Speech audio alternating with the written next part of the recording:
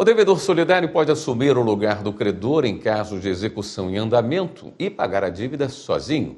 Quem explica essa decisão do Superior Tribunal de Justiça é o repórter Bruno Silveira.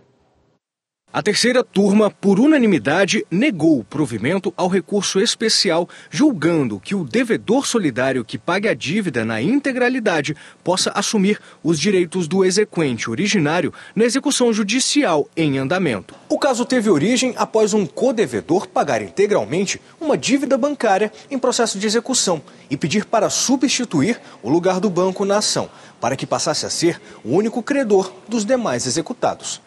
O pedido foi aceito pelo juízo e pelo Tribunal de Segunda Instância. Dois codevedores solidários interpuseram recurso ao STJ para extinguir o processo. Alegaram que o pagamento ao banco teria quitado o título executivo extrajudicial, não havendo mais obrigação respaldando a decisão. Os devedores ainda sustentaram na ação que o direito de regresso exigiria a propositura de ação autônoma, já que não seria possível exercê-lo nos mesmos autos da ação em curso. A relatora do recurso especial no STJ, ministra Nancy Andrighi, explicou que, de acordo com o Código de Processo Civil, o pagador da dívida adquiriu legitimidade para continuar com a execução do título extrajudicial.